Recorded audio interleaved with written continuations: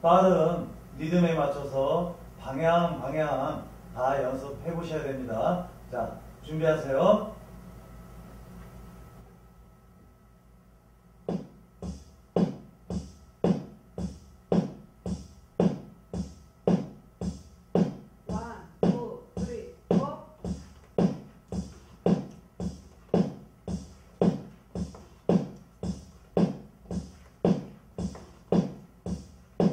하